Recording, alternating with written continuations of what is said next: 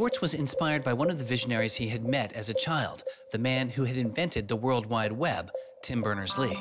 In the 1990s, Berners Lee was arguably sitting on one of the most lucrative inventions of the 20th century. But instead of profiting from the invention of the World Wide Web, he gave it away for free. It is the only reason the World Wide Web exists today.